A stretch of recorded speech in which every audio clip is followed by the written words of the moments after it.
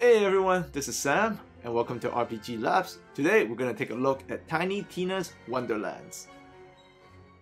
So in this video, we'll be showing you guys a legendary shield in detail. We're going to let you see what it does, what makes it so good, and exactly what ideal weapons and skills you need to combine with it so you can get the most out of the uniqueness of the shield and as you can see from this footage, with the correct spells and the correct weapons, even on intense difficulty, we can be very dominant with this legendary shield alongside the right moves and the right gameplay reads. So if you enjoyed this video, uh, please consider liking it and also subscribing to the channel. If you would like to see more RPGs and uh, Tiny Tina Wonderland content from us, you can click on the playlist below or above and you'll find all the videos we've been working on all year long.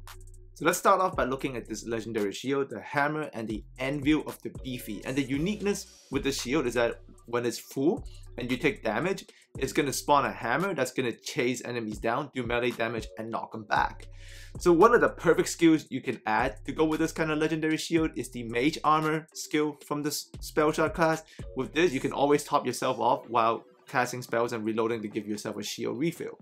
So the ideal spells, one of the ideal spells to go with that is any Ice Spike spell that has multiple charges. And if you can, you definitely want the uh, trigger to be a simple cast, so it's quick to trigger.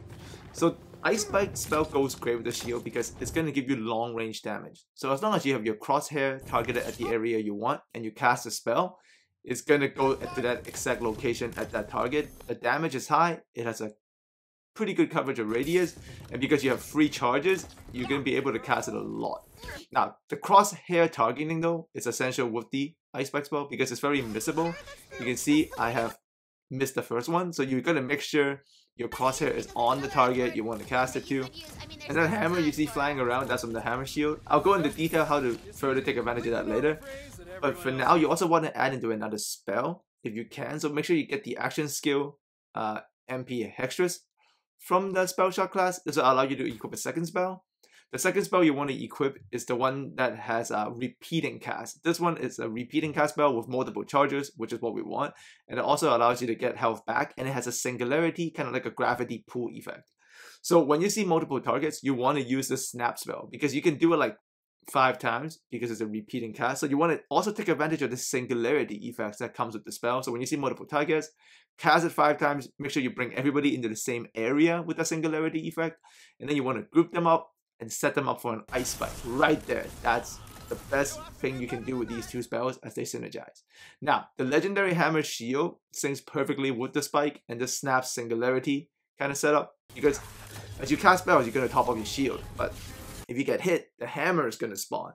And because you're casting spells from a distance, the hammer kind of makes up for that close range melee damage and it's going to keep the enemies away from you as you continue to cast.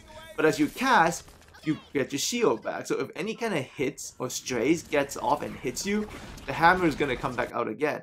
And you can see I lowered my I got my shield lower here as I was casting. The hammer comes up, it's going to go after the target. It's going to keep them at bay, which allows me to shoot them from a distance, and which allows me to continue to cast spells. So the hammer kind of acts as a buffer to keep everything away from me, or if anything gets close, they're going to get hit.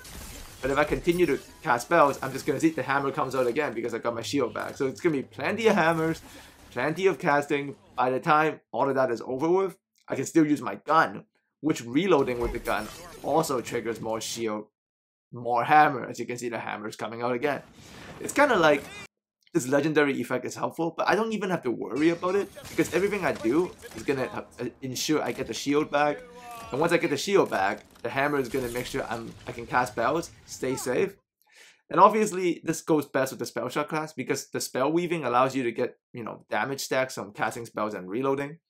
So because you can do that. That's why you want spells with multiple charges, because it's going to equal to very efficient buffing. That's why you can see with both of my spells, I like to go with things that at least have two charges. Three is perfect. But uh, you definitely want a spell that gives you back health, and you also want an Ice Spike spell. And any spell with Gravitational Pull is great. So you can see everything come together. I get hit, the hammer comes out, keeps them at a distance. I can use all my spells.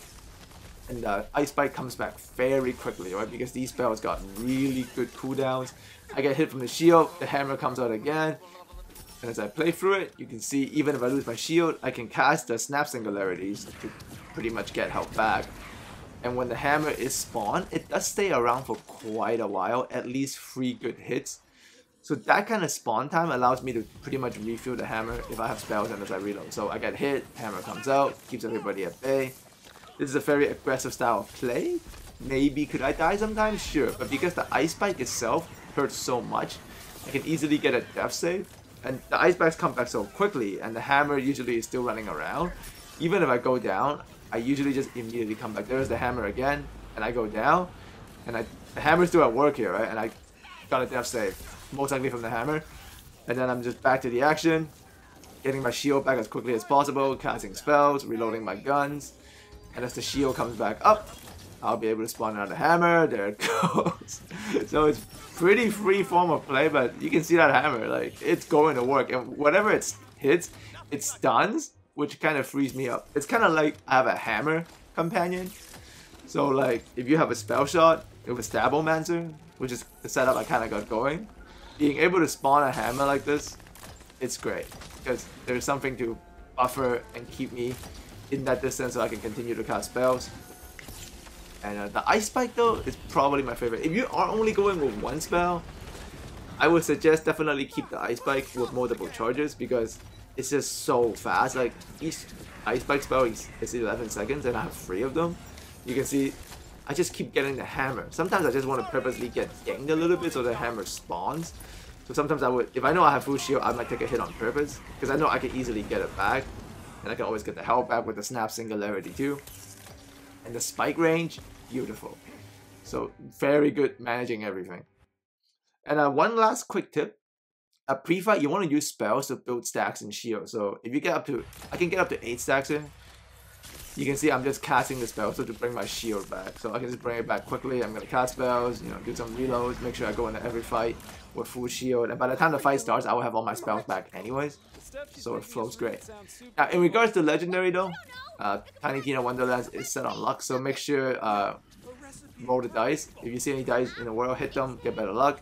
And but to get these two spells, which is the uh, Singularity with multiple charges, that gets you back health, or just simply the Ice Spike spell that has multiple charges and has great distance, you can just visit the stores often and you will most likely be able to find something similar and if not you probably will find the exact thing.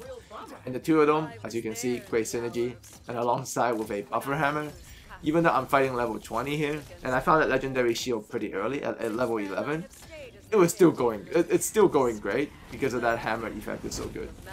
Alright, so hopefully this helped you out. If you got any questions, leave it in the comment section. As always, thanks for coming by. Hopefully you guys are loving the game. We're enjoying it pretty much very well over here. So expect more content from us, especially with more legendary weapons and the best weapons you can use to go with it. Alright? We'll talk to you guys very soon. See you next time.